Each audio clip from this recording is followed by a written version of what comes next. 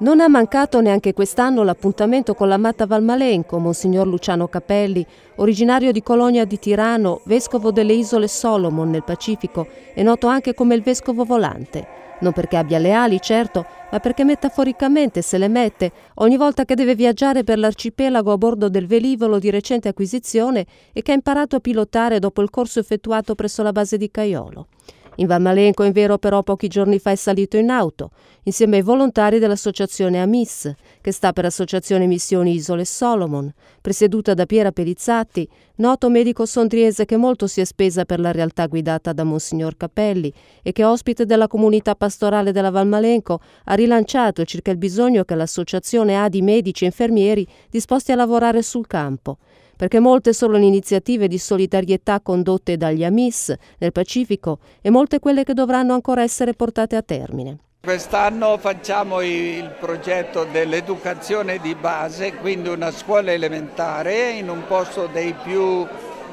bisognosi della città, seconda città delle Solomon, Ghiso, e poi facciamo la sala operatoria nell'ospedale che abbiamo allestito e speriamo di avere qualche dottore che viene a darci una mano, anche insegnanti di scuole elementari che però siano in grado di parlare inglese.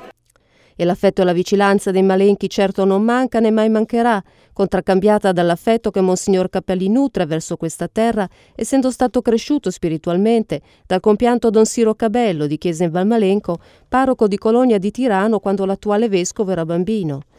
La serata di solidarietà partita con la messa officiata da Don Renato Corona ha visto anche la partecipazione di Don Mariano Marnielli e Don Andrea del Giorgio, parroci della Valmalenco, e di Don Ezio Viganò, parroco di Castione, presente anche il vicequestore di Sondrio Agostino Gallo. È bello vedere come eh, tante persone, una comunità, con, eh, trovandosi insieme, possano contribuire anche a fare cose importanti dall'altra parte del mondo. Siamo più di 130 partecipanti e vorremmo organizz- eh, ringraziare tutti quelli che si sono dati da fare e a darci una mano per organizzare questa serata che oltre che alla paella e i pizzoccheri preparati dagli amici c'è anche una bella lotteria per raccogliere sempre fondi per, per la missione di Don Luciano.